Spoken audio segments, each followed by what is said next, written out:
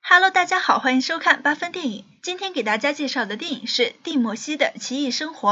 在这阴霾的下雪天，突然想起了几天前看电影《蒂莫西的奇异生活》，拥有着文艺片的风格和摄影手法，讲述带有魔幻色彩的迪士尼童话故事，从中透露出一点点的平淡、幸福、温馨。出乎意料的家庭浪漫剧，感情纯真质朴，小细节巧妙，构思精致，一些生活琐碎事物都充满小小的惊喜和感动。影片讲述一对没有孩子的夫妇吉姆和辛蒂，年前种下了一棵树苗，直到接收到医生通知永远没有孩子的时候，就把想要小孩子的愿望写在纸条里，埋在了家里的后院。上帝可能看到他们的心愿，于是一个男孩蒂莫西从土里长出来，说是他们的孩子。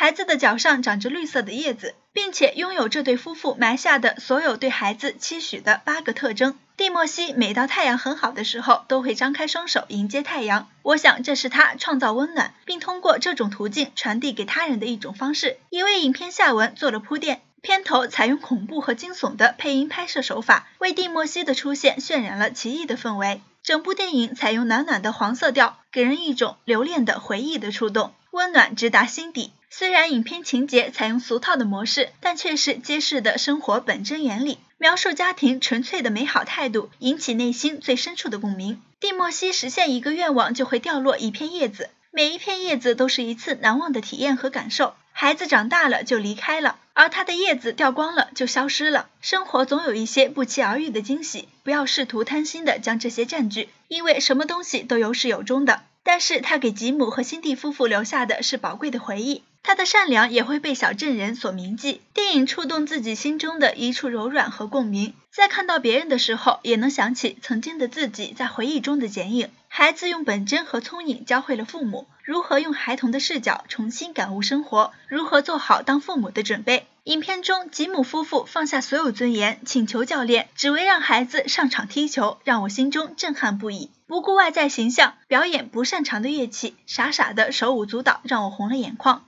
目送中说：“所谓父母与孩子的缘分，不过是看着孩子的背影渐行渐远罢了。”蒂莫西的叶子掉光了，他离开了。起初我还会想，即使开始美好，最后也是绝望，还不如不曾拥有。看到最后，我意识到我错了。不管过程是否如想象的那么完美，还是应该珍惜身边的事物。最后，影片升华。孩子不仅是上天赐给父母的礼物，还让父母重拾那些流逝的珍贵与美好。正如你是上天派来的天使，终究只属于天堂，但你曾留下的叶子却是我们前行的最大的力量。这句富有内涵的话，这是一场爱的延续。我希望我们都能懂得爱，收获爱，珍惜爱，让有限的生命焕发无限的精彩和欢喜。好了，我们今天就说到这里，我们下期不见不散。